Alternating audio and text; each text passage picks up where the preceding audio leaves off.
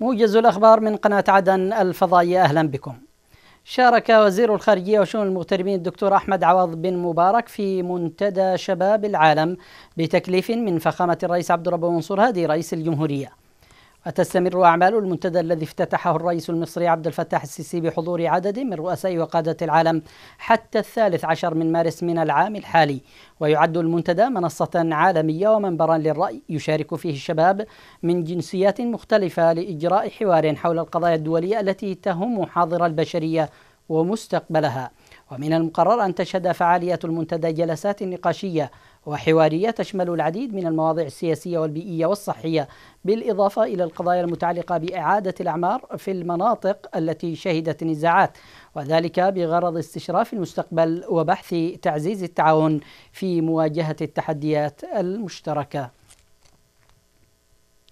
ناقش وزير الدفاع الفريق الركن محمد المقدشي بمأرب مع قائد قوات الدعم والإسناد السعودي للقوات اليمنية اللواء الركن يوسف الشهراني سير العمليات القتالية على امتداد مسرح العمليات بحضور محافظ مأرب اللواء سلطان العرادة ورئيس هيئة الأركان العامة الفريق الركن صغير بن عزيز.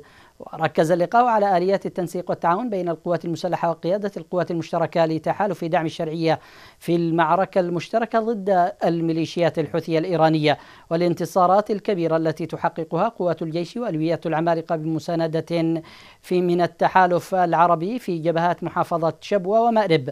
وجدد وزير الدفاع الشكر والعرفان لجهود تحالف دعم الشرعية بقيادة المملكة العربية السعودية ومشاركة دولة الإمارات العربية المتحدة في المعركة العروبية للدفاع عن الأمن القومي المشترك ضد المخططات التوسعية الفارسية.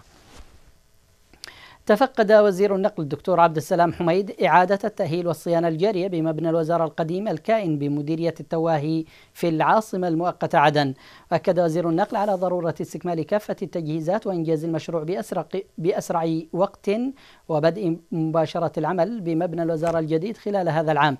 كما اطلع وزير النقل برفقة وكيل الوزارة لقطاع الشؤون البحرية والموانئ القبطان علي الصبحي على سير العمل بالهيئة العامة للشؤون البحرية. متلمسا الصعوبات التي تعاني منها الهيئة والجهود التي قامت بها الوزارة في المراحل السابقة لتعزيز دور الهيئة بهدف الارتقاء بخدماتها في حماية الملاحة البحرية في المياه اليمنية. وتعرف على نشاط فرع الهيئة العامة للشؤون البحرية بعدن ومستوى الخدمات المقدمة. ناقش اجتماع موسع بوزارة الكهرباء والطاقة التزامات الوزارة بشأن منحة المشتقات النفطية السعودية لمحطات التوليد بموجب اتفاقية المنحة وما تطلبه ذلك من توريد المبالغ المالية المطلوبة للحساب المشترك ورفع عملية التحصيل والتقليل من الفاقد وكافة الخطوات والإصلاحات المطلوب اتخاذها للوفاء بالتزامات المنحة. وشدد الاجتماع على ضرورة تحمل مناطق الكهرباء في عموم المحافظات المحررة المستفيدة من المنحة لمسؤولياتها والإسراع في توريد المبالغ والإيرادات للحساب المشترك. وخلال اللقاء أكد أمين عام رئاسة الوزراء مطيع دماج على أهمية الوفاء بهذه الالتزامات وتنفيذ الإصلاحات المطلوبة في قطاع الكهرباء والعمل على الحفاظ على استمرار المنحة من خلال الوفاء بمتطلباتها.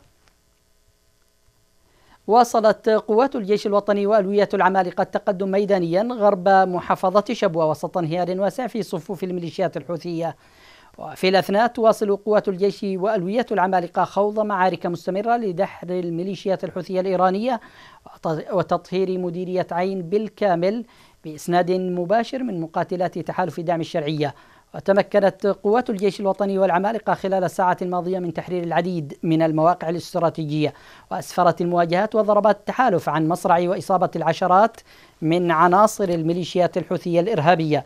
بالإضافة إلى تدمير آليات وأطقم قتالية. انتهى الموجز. في أمان الله.